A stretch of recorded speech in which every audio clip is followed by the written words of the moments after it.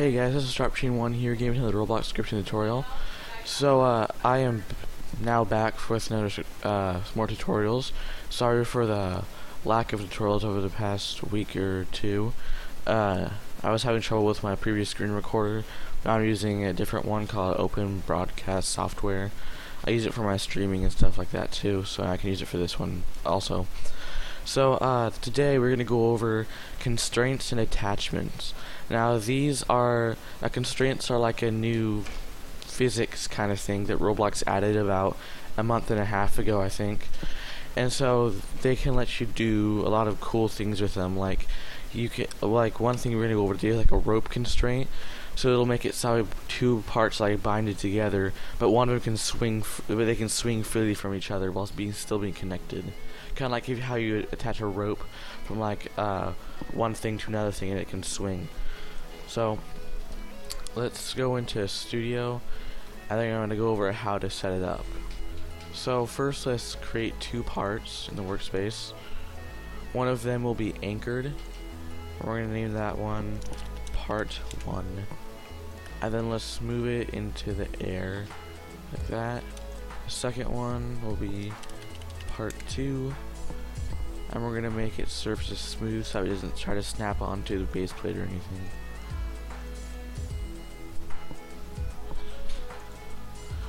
Alright, so we're gonna put that one to the air a little bit so the first thing I need to go over are attachments because you need to have attachments in order to uh, make constraints work. Now attachments are also kind of new. They're a little bit older than constraints. They came out uh, a little bit before those did. So uh, attachment is an instance that you can put inside of a part that tells the constraint or other things uh, how to connect with the other part. Like, so we're gonna do a rope constraint. So we're so basically this attachment is gonna do is it's going to tell the constraint what part, what, where on the part to connect the rope to. So to, to get one, just go into the advanced objects, and then look for attachment. It should it should look like um like a like a plug that you plug into the wall. Kind of has that it has that icon to it. If you can't find it in your advanced objects, just type it in. It, just type in ATT ATT. It should show up.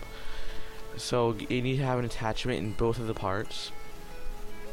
So what you need to do is now you need to tell it how you want how you want the constraint to attach to it. So by doing that you can adjust the position. So its default is 0, 0, 0, which is the very center of the part. And also Roblox has a thing that can show you where it's being uh, where the position where the thing actually is, where it's being attached to but it has to be in a visible area. So we're gonna make it do. I want it to to the constraint to attach to on the top middle of it right here. So we just gotta adjust the y-axis. I'm just gonna do uh, 0.50. I'm gonna go a little bit higher actually. 0, 0. Let's not show that.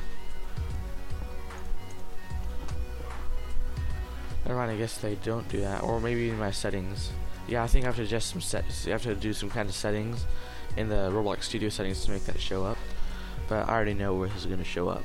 So to do that, so to make it show up, or to make it attach to the top middle of right here, you just got to do uh, 0, 0 0.50.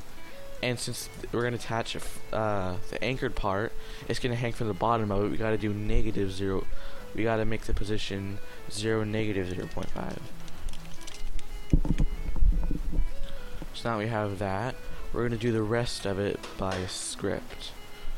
Well, actually, I'm going to go over the API first of it in Google right here.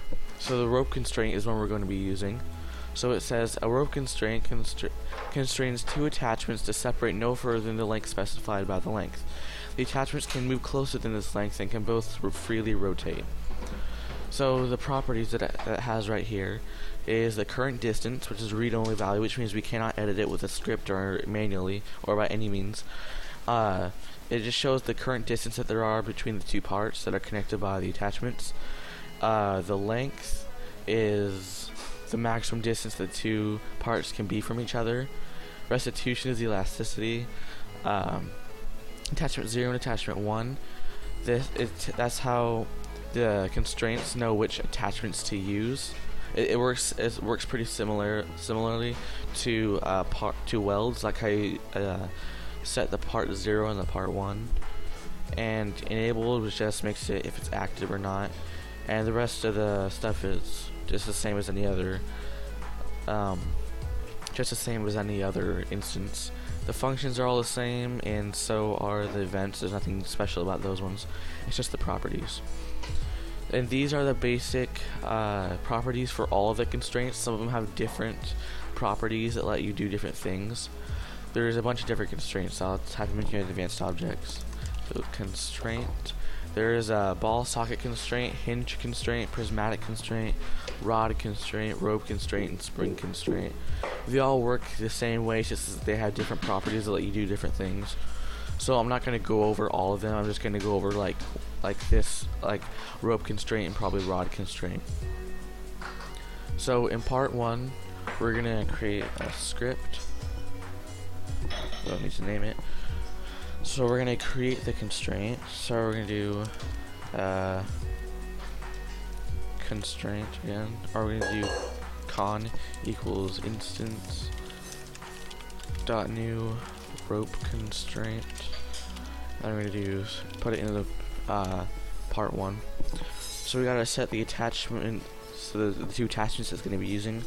So con dot attachment. I guess I sell it.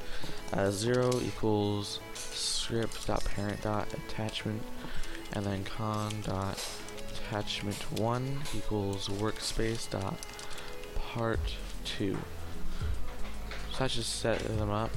So now we're just gonna do uh, run and see how it is. We're just gonna leave the other stuff at the default for now.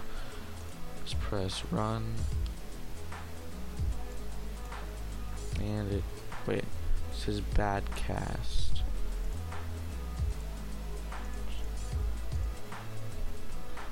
What did I do wrong? Oh, whoops, I know what I did wrong. Oops. I forgot to make it say the attachment of that part. Sorry about that. Alright, so workspace.part2 dot attachment. There we go. Now that should do it. Alright, so now they're just hanging there. If I, so if I drag it away, it's gonna snap back and then it'll do it'll be able to swing. So what this also means is Oh, as, as you can see, if you click on the constraint, it'll show how it's like rotating. It'll sh it'll show this um, how do you say it? It'll show the the distance between those, I guess. It'll show how it's swinging. Like if it, if you were to attach a rope to this, it would sh showing how this would swing from each part to the next. And also that green thing right there that shows where it's connected to on that part. So we could change. I think we'd still be able to change this. Just change that to one. Yeah, there we go. See? Change it there. Oh, there we go. So now that we're in run mode, it actually shows where it's being attached, where the attachment is. So now that's that's where that green part right there. That's where the constraint is attaching it to. It's attaching it to that position on the part. So you get, so you have a lot of variety, I guess. The rotation I haven't messed with that much. Doesn't seem to do anything. Yeah, I think the rotation is like have that yellow bar through it. I think. I'm not changing anything at the moment. I haven't done much of that. But you guys can mess with that stuff on your own. So let's so let's set this back to 0, 0 0.5. So we'll go like that. And also, uh, these things, this stuff can be influenced, like the way it's swinging stuff. If you, like if you bump it with your character or some other kind of part, I believe that it should be able to move that around too and still and swing the correct way. So what I'm gonna do we're gonna lower these down to where a character can reach it.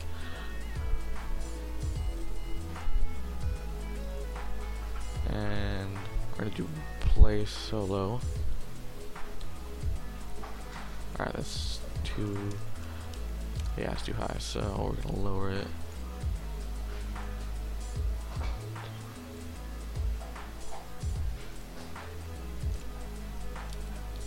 There we go, see? and move it. Let's try it again. You can go here, and you can do all kinds of stuff. It's pretty cool. You would be able to do this before this update using this instance called Glue, which I've done before, but it's not a very uh, good way to do it. I mean, that was the only way there was back then, I, think. But uh, glue was like really unstable and stuff, and things would sometimes fly all over the place and be, useless. But this one is really good and reliable. So now let's let's see what are the other properties. See link restitution. Let's mess with some of those uh, properties using the script. Let's change the maximum length. So we're gonna do con dot uh, length equals do 20 studs. And let's raise this higher. Just gonna do run. Don't do play solo anymore. Alright. So we go, it's hanging down farther like that. And let's we drag it like that or something. Or, I know, but there we go. So now it's swinging on a lot in a much larger uh, area, and it swings also a lot slower too because it's farther away. And so you could, as you can see, you can make tons of stuff with this. You could even make swings. Uh, one thing I, I, saw in uh, Roblox Developer Conference, I, or something else, I don't, I don't, remember where it was, but some guy uh, made some really cool like bridge using this stuff, like a rope bridge, so that it would like be all wobbly and things like that, kind of like how how rope bridge really is when you walk across it. It was pretty cool. And so when you remove like one of the constraints and stuff, it would fall down into the river and things like that. It was pretty cool. So there's a lots of there's lots of cool things you could do with this. So uh, let's check out a rod constraint. Let's go back. See what that does.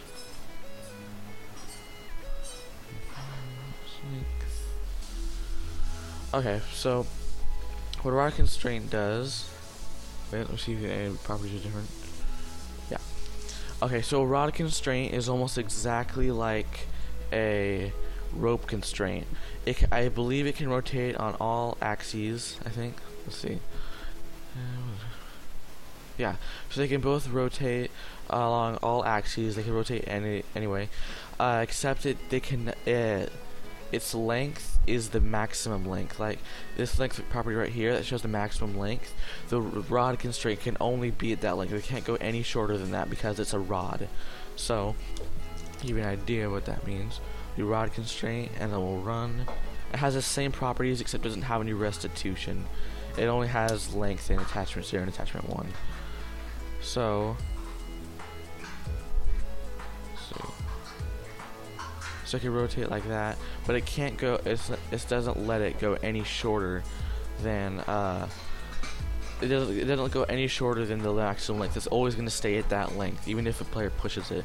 So, show that. bring it down like that.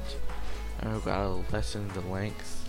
We're gonna make keep it at uh, its default. We'll play solo again. That's too high.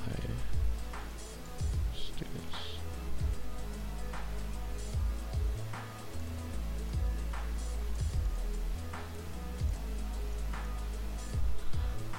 And let's make it actually a bit longer. Actually, no, that's fine right there.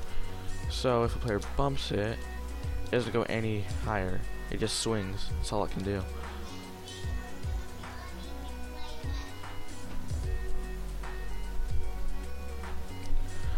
So uh, that's all I have for you guys today for constraints. This was a pretty short tutorial. Constraints are pretty simple thing to use, but yeah, very powerful. There's tons of things you can do with them, and they can really add some great detail to whatever game you're trying to make. So I hope you guys enjoyed this video. Again, I'm sorry for the lack of videos I had for like the week or two, a week or three or something like that. I don't know. But um, I hope you guys enjoyed this video. If you did, please thumbs up and subscribe. Uh, also, please tell your friends about this channel if they want to learn how to script on Roblox or how to make games, whatever. Just tell them about it and tell them to subscribe as well.